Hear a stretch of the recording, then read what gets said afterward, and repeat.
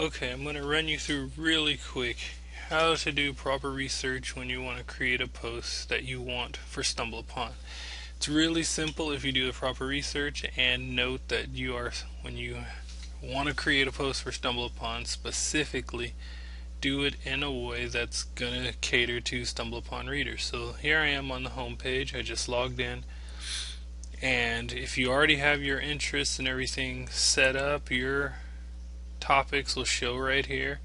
But if you don't already, then you would click Profile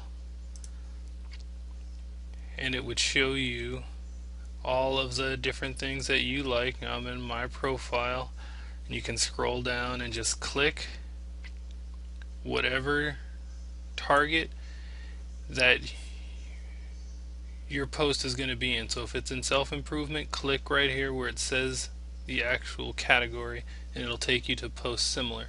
So right now we're going to do a post, say we're looking for something on marketing. So I would just search for here in this box, I would put in marketing and it would get me to this page. And as you can see, they're all marketing. The first one that comes up, a really awesome small business post on Forbes that you should all read right away. But look at the number of views and follow ones that have a large number of views. So here's one 23,000 views. And once you if you click marketing you'll go to the whole category so we'll just search marketing now this post. 300,000 views. 50 viral images shared on the web. Let's see what that looks like. So you'll notice right away this is an image post. You can see 50 viral images from 2000 the images show right away and it's just a ton of infographics. Easily to create a post like that. This one 117,000 views the anatomy of a perfect landing page. And that's just an infographic. Another easy one to create 177,000 views. You can see all it is is a very simple infographic with arrows pointing at it. Another one for marketing you see 89,000 views, 50 scientific proven ways to be persuasive. So you got your headline that is catching, it grabs their attention right away, and you can see the list without scrolling down.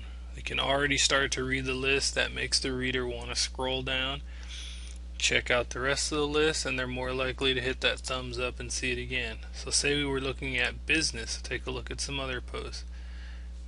So we're now we're in the business category. And 10 TED Talks that will transform your career. Another list post, 43,000 views. Here's the HBS elevator pitch, 197,000 views, and that is the interactive post I mentioned.